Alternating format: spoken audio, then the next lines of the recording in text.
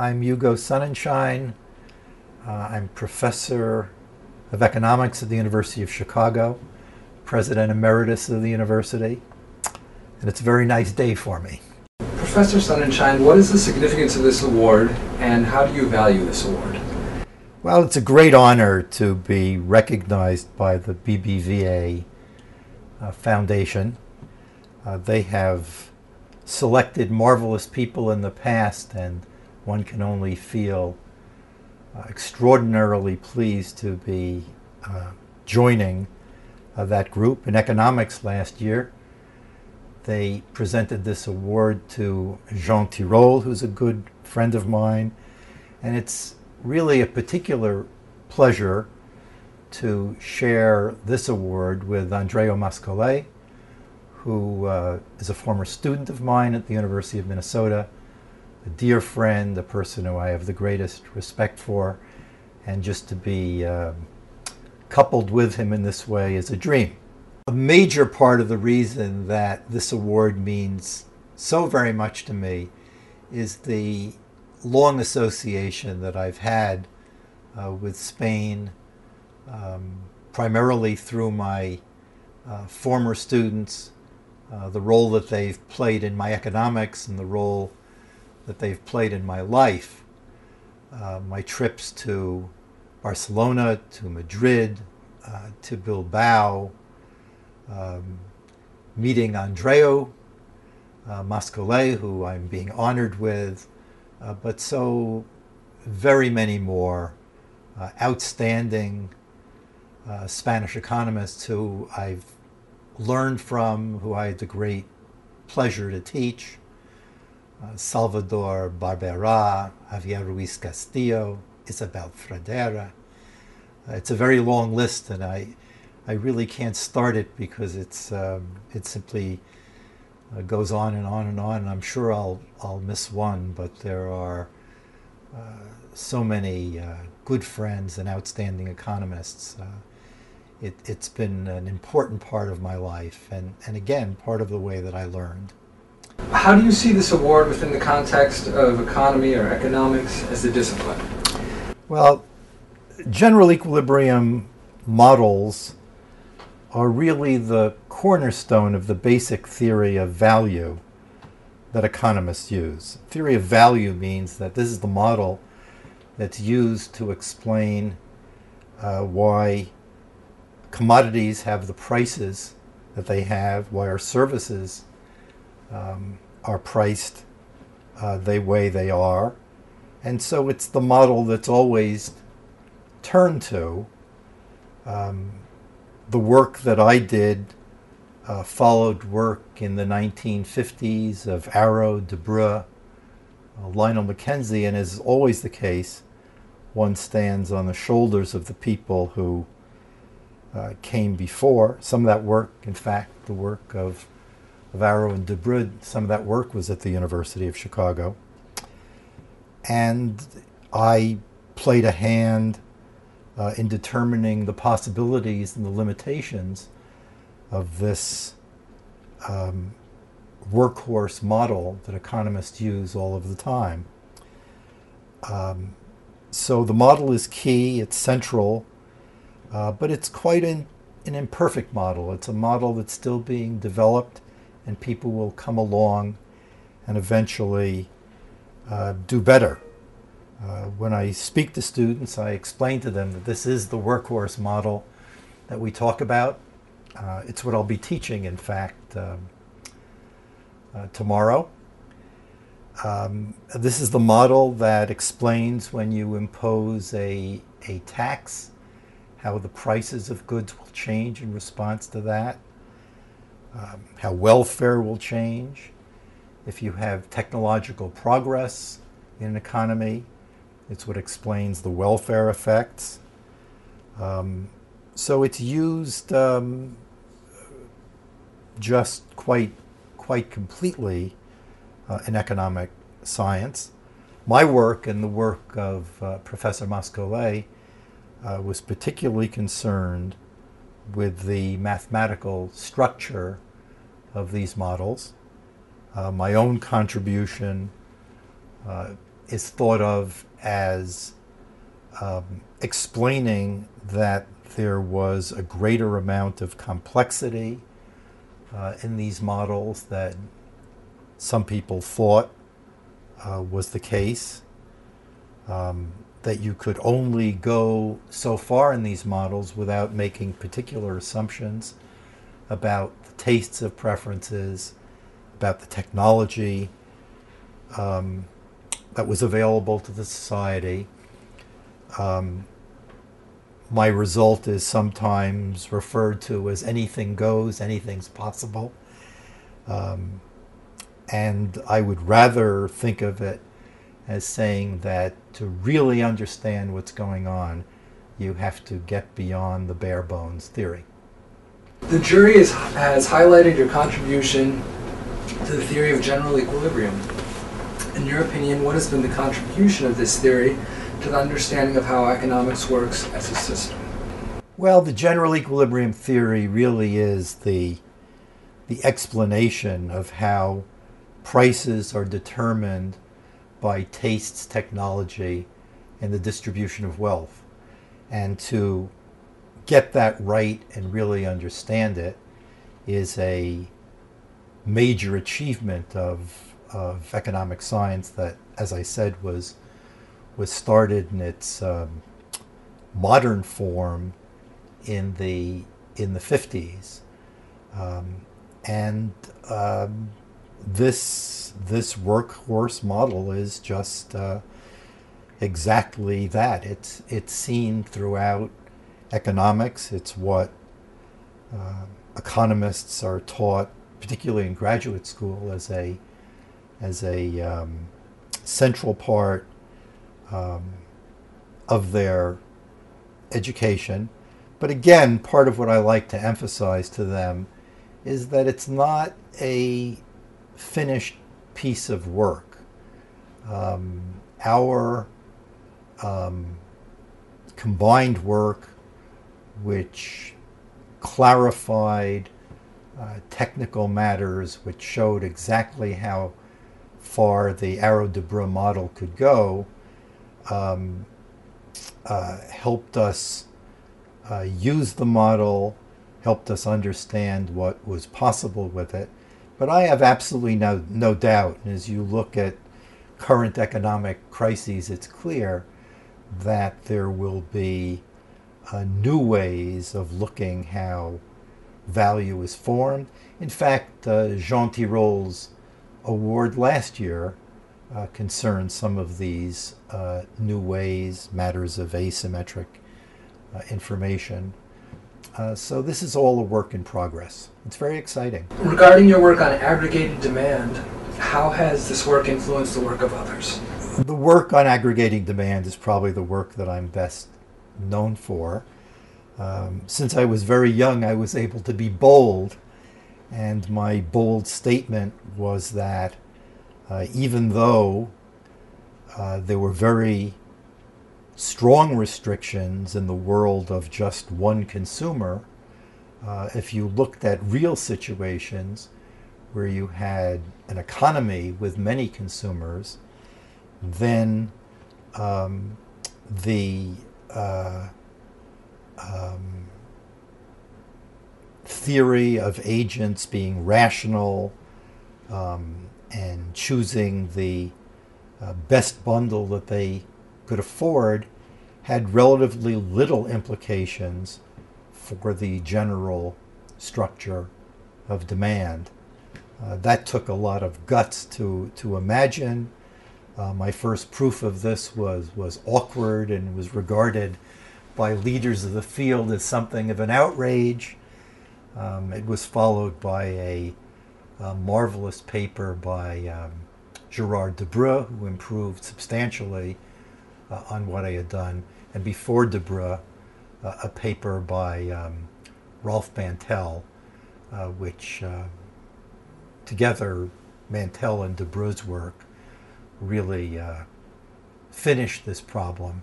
There were things added. Everybody got their nickels and dimes afterward, but but uh, that that um, strong conjecture, somewhat outrageous conjecture, of mine led to um, wonderful papers um, by, by others and really led to a clear understanding of the structure of demand in a market economy. Uh, you ask about aggregate demand, uh, and this, in fact, is the work that I'm, I'm best known for. Um, as a graduate student, I was taught a great deal of the theory of individual demand functions. Um, and this is the theory that we inherited from Samuelson and from Hicks. Uh, this was the great work uh, of the early, uh, mid 1900s.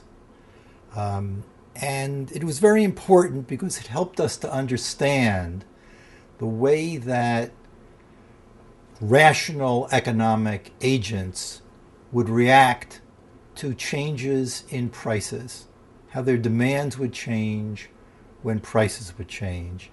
And this was the basic theory we were taught.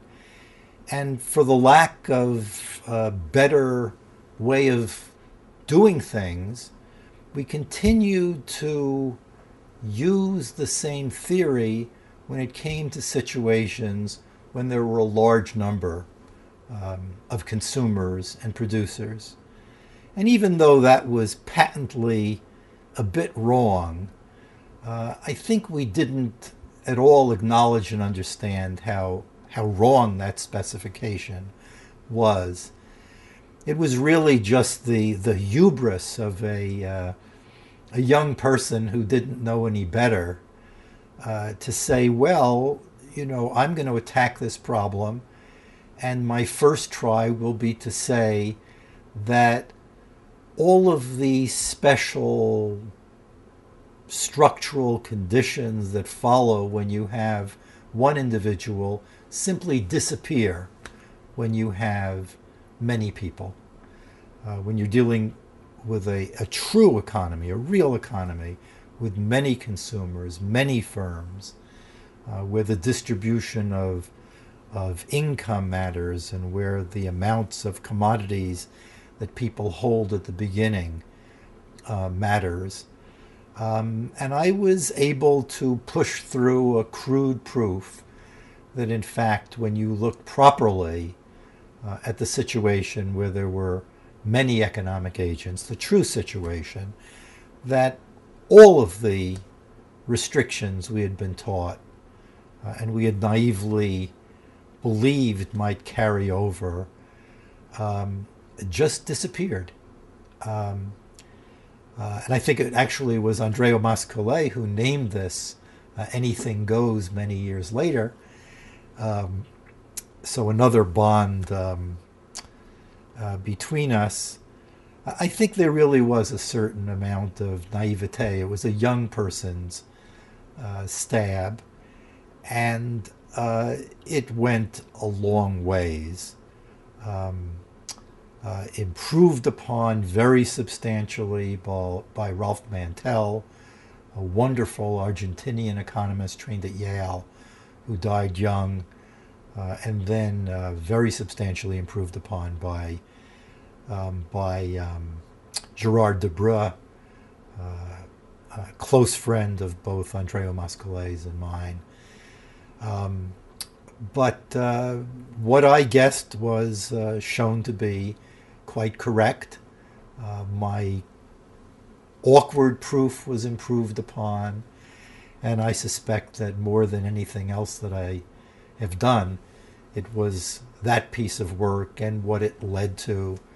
What it led to in terms of, I think, a little bit more humility on the part of economists uh, in understanding that you, you really had to know specifically what the preferences were specifically what the technology was, uh, specifically the distribution of wealth to understand um, aggregate market demand properly. Um, great fun, great fun. Do you think your work has an actual true influence in everyday life? Well, Keynes had this statement that uh, people may not realize it, but they wind up be, being the slaves to some poor economist uh, who they never knew Um, economics matters and economic models matter. Um, they matter a lot in policy. Uh, this is not a um, a game of just being clever. This is a game with very, very important implications. Our theories, when they're good, are taken seriously, and it's been a you know great honor to be involved in work that has a very real and serious um, application. The nature of this work, um, the general equilibrium theories, is such that its influence is, is ubiquitous. And in some ways, people get it quickly. They understand that the way that prices are determined is uh, quite complicated, that my demand for uh, automobiles depends not only on the price tag of the automobile, but on the cost of gasoline, which I need to run the automobile, and it depends also on what my income is. And when you put all of these forces together in an economy with many, many people, you get a good picture of what determines um, value. Uh, and it's a subtle picture and it's a deep picture and it's um, it helps us understand what's really going on. More in general, do you think the work of theoreticians has a strong enough impact in practical economy, quote unquote? Everybody who seriously wants to face the issue of how, let's say, a discovery of some minerals in the country, um, the decision to put a tax on some commodities, a change in technology, anybody who seriously wants to investigate how people will be affected by these individual changes has to come to grips with uh, the tremendous dependence that exists in a competitive economy, and they do that by by using this this model. That's it for the questions. I guess the floor is yours. If there's anything you wanted to add. You know, it, it is, uh, I, have only just learned of this award. Um, it means a great deal to me. One of the um, one of the nice experiences that Professor Mas-Colell and I share is that after our um, foundational work, which we both did at a relatively young age, we both had time to, um, in other ways, um, give back to the institutions that made our work possible. So we both became um, quite interested and quite involved in um, uh, leading, supporting, uh, helping uh, universities to um, to be strong, uh, to be the best kind of place for young scholars, um, students, um, and so in addition to the fact that we uh, um, have done uh, similar work and that our paths have crossed in other ways, we have this, this other attribute which I think is very important on this occasion. Let me speak briefly about uh, the importance of this award and what it means to me. First, I noticed that BBVA, uh, the foundation, um, gives these awards in a collection of areas which mean a lot for the human condition. And I'm sure when they were contemplating uh, what areas would be worthy of these awards, they thought they thought very carefully uh, about that. Uh, and I'm very pleased, of course, that they included um, economics in this group. Uh, it's important for me um, to make a clear statement that I believe economics uh, really matters A good understanding of economics really matters. Um, we may not always get it right, uh, and the challenges are great. We should not be held responsible uh, when there's economic failure, and we as economists should not be held responsible and get all of the glory um, when um, the economy is good, but we are listened to.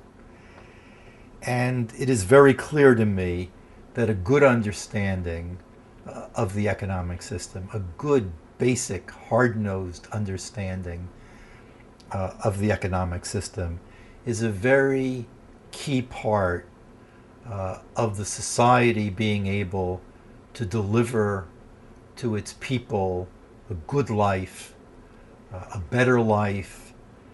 Um, and that's why we do economics. We do it because we believe that a better understanding of economic matters uh, is important for economic policy. Uh, and I'm, I'm very pleased to make my own modest contributions